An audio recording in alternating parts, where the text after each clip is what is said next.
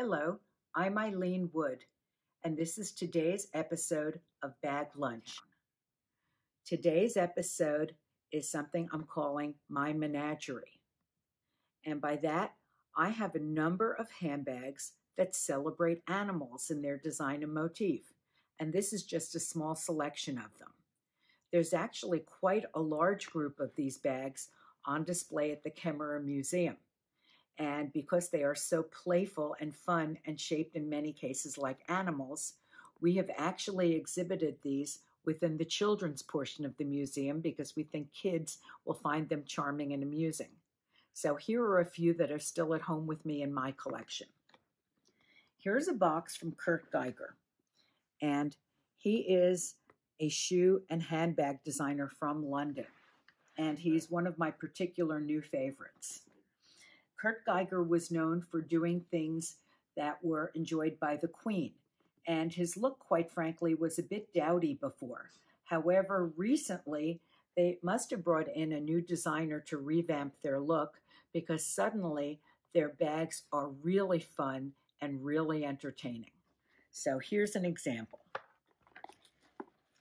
They have partnered with an illustrator to create a series of bags that feature his drawings upon them. This bag is a Dalmatian, and it's only one of a couple of different designs that they have partnered to present. There's also a swan that's available, but sadly I was unable to find one. So here is their Dalmatian bag. And it's done on red velvet, and it really presents a lovely graphic look and pops up any, you know, black or simple outfit. This is a bag with a bumblebee motif. Now, this bag is, I shall say, an interpretation of a famous Gucci bag that was available last season. And this is something that was available in department stores around America.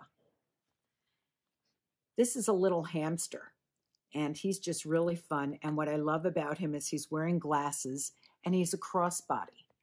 And I tend to use this bag as a crossbody when I want to be hands free and run around town and only carry very simple things like my keys, a lipstick, maybe a wallet, because it doesn't have a lot of capacity, but it packs a lot of punch.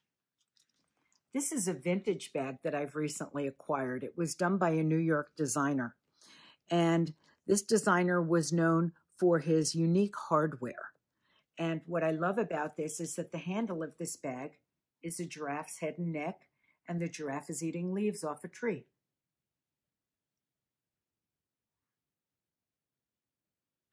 This final example is a black swan, and it was done by Kate Spade a couple of seasons ago, and I think it probably came out at the time of the film, The Black Swan.